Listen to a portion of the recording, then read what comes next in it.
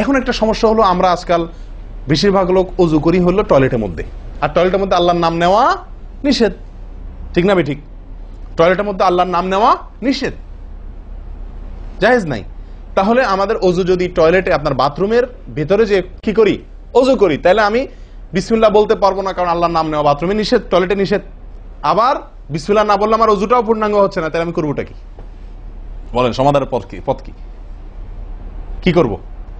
কি নিষেধাজ্ঞা অমান্য করে বিসমিল্লাহ বলব? নাকি আপনার বিসমিল্লাহ ছেড়ে দেব? তাতে তো অজু আবার পূর্ণাঙ্গ হবে না। দুইটাই সমস্যা না?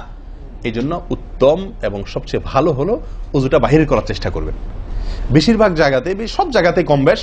বাথরুম টয়লেটের ভেতরে যদি বেসিন থাকে, তো বাইরেও টেপ বা বেসিনের ব্যবস্থা থাকে। থাকে না না থাকে না? বিশেষ করে বাসা বাড়িতে অথবা অফিস আদালতে। দেখা যায় যে ওই টয়লেটে অনেক সময় আমরা কি করে ফেলি? অজু করে ফেলি। এটা উচিত না। এটা একটা ভুল আমাদের।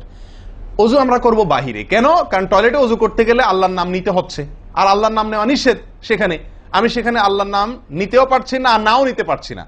যদি নেই, তাহলে আল্লাহর নাম নিয়ে গুণা করছি টয়লেটে। আর যদি না নেই, তাহলে আমার অজুটা অপূর্ণাঙ্গ থেকে যাচ্ছে। ঠিক না বে ঠিক?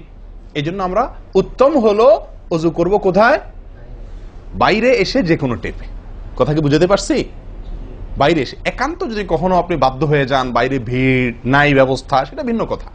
আর বাসা বাড়িতে যদি এরকম কোনো বাসা বাড়িতে যে বাইরে কোনো সিস্টেম নাই আপনার নিজের বাসা না আপনি ঠিক করতে পারতেছেন না তো কমপক্ষে বেশি এবং আপনার টয়লেটের কমোডের মাঝখানে কি দিব?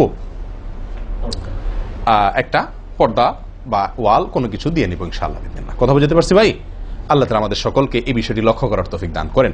তাহলে ভাই, আমরা বিসমিল্লা পাঠ করব অজু শুরুতে। লক্ষ্য করব ইনশাল্লাহ যাতে করে অজু শুরুতে বিসমিল্লা পাঠে ভুল না হয়।